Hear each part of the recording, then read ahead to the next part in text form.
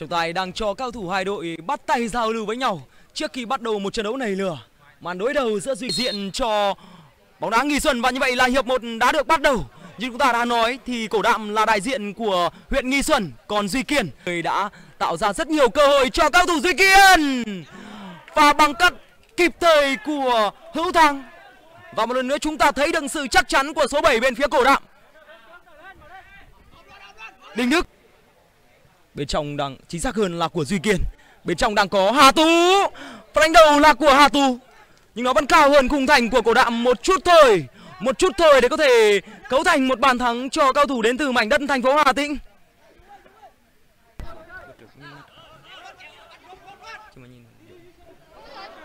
Và bàn thắng thực sự bất ngờ cho Duy Kiên.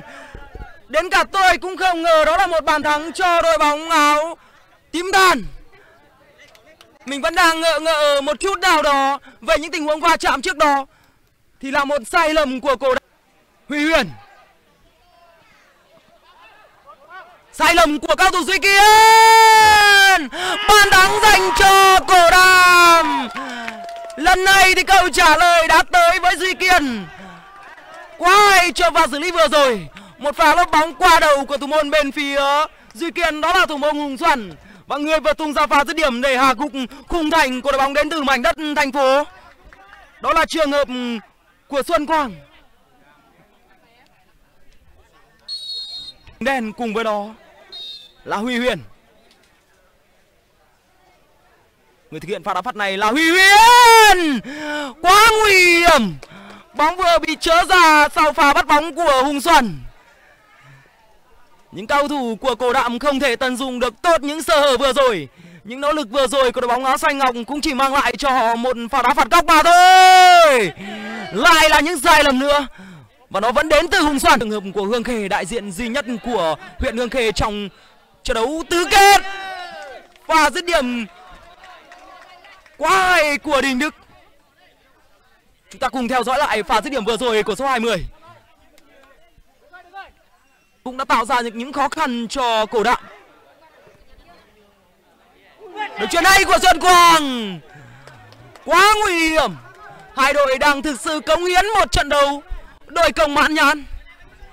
Và thật may mắn cho những cổ động viên đang có mặt trên sân bóng Tuấn Phong, tài của Hùng Đen. Đường truyền của Hùng Đen dành cho người đồng đội của mình đó là Huy Huyền. Và can thiệp tốt của Hà Tú, nhưng trọng tài cũng đã cất còi trong tình huống bóng vừa rồi. Sẽ là một pha đá phạt dành cho cổ đạo. Một pha đá phạt cũng không cách khung thành của thủ môn bên phía Duy Kiên là bao nhiêu. Vâng, cảm thấy hơi mệt. Những tình huống xuống sức của Hà Tú đang khiến cho tuyến giữa của Duy Kiên gặp nhiều những sự khó khăn hơn. Câu trả lời của cổ đạm và người vừa tung ra phạt dứt điểm đó là Văn Sơn. Đã có những phút thi đấu không tập trung của số 69 bên phía cao thủ Duy Kiên và ngay lập tức thì cổ đạm đã tận dụng được những cơ hội đó họ lên. Nhưng đây là cơ hội phản công dành cho cổ đam và dứt dứt điểm ngay. Nhưng nó vẫn thiếu đi một sự tinh tế và chính xác nhất định của huy huyền. Những màn ăn miệng được truyền của nguyễn xanh dành cho nguyễn thông. Và dứt điểm ngay của Nguyễn Thông. Một quyết định dứt điểm bất ngờ của số 96 Nhưng nỗ lực vừa rồi của Duy, của Duy Kiên cũng sẽ mang lại cho họ một pha đá phạt góc nữa. Ngày hôm nay Di Kiên đang thực sự lấn lướt trước cổ đạm Che chắn khá tốt, đó là Thế Hùng và cưa lồng. Đó là tình huống cưa lồng của số 7 Nhật Thảo. Người đã có mặt trong hiệp 2 của trận đấu ngày hôm nay. Câu trả lời hay của cổ đạm Nhưng mà thiếu đi một chút may mắn và sự chính xác của số 7 bên phía cổ đạm Hùng Xuân cơ hội! Và pha xử lý quá tốt của Nguyễn Sạch anh vượt qua thủ thành của cổ đạm và ghi bàn vào lưới trống. 2-1 dành cho đại diện đến từ thành phố Hà Tĩnh. Một lần nữa thì số 6 của Duy Kiên lại tỏa sáng.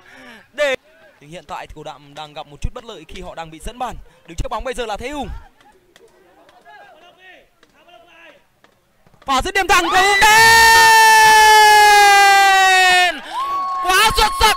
Quá xuất sắc, đó là số 15 của cổ đạm hai đều hai đều ở những phút thi đấu thứ 34 và chúng ta thấy được sự xuất sắc của Thế Hùng một lần nữa.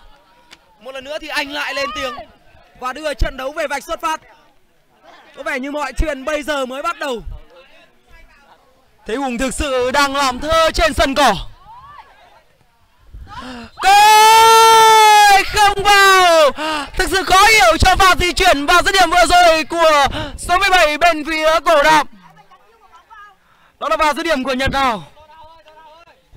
Quyết định của đội bóng áo xanh. Pha dứt điểm quá nguy hiểm. Một tình huống vừa dứt điểm vừa truyền của Nguyễn Sách ra cột hai Và pha đánh đầu sau đó của anh Dũng cũng thực sự quả cảm khi đường bóng là rất căng. Nhưng cầu thủ này vẫn dám đưa cái đầu của mình vào nhưng đường bóng quá căng nên khiến bóng đã đi chệch khung thành trong gang tấc. Đặc biệt là về mặt duy kiên họ có ít quân số lại là một sai lầm nữa của thủ thành bên phía cổ đạm và sai lầm này có lẽ là sai lầm đáng tiếc nhất của trận bán kết ngày hôm nay.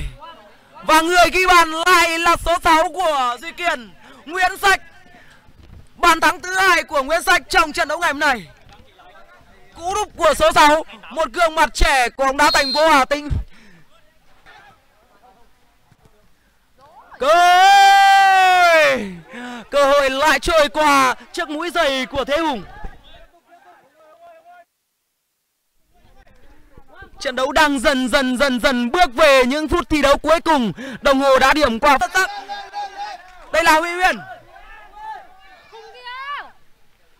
không vào và phá bóng. Trước bạch vội của duy kiên đó là văn bằng. Bây giờ thì duy kiên đang chạy không biết mệt mỏi. Họ lên công về thủ nhịp nhàng. Của văn sơn. Còn với đó là thế hùng nữa. Và dứt điểm hay của thế hùng nhưng vẫn không thể vượt qua được những cái bóng áo xanh. Và như vậy là trận đấu cũng đã khép lại. Màn đối đầu man nhãn, hấp dẫn, gay cấn giữa cầu thủ của duy kiên cùng với đó là cổ đạm. Xin chúc mừng chiến thắng của đội bóng đến từ mảnh đất thành phố hà tĩnh và xin chia buồn. Và hẹn gặp lại cao thủ cổ đạm trong mùa giải năm sau. Xin cảm ơn cổ đạm đã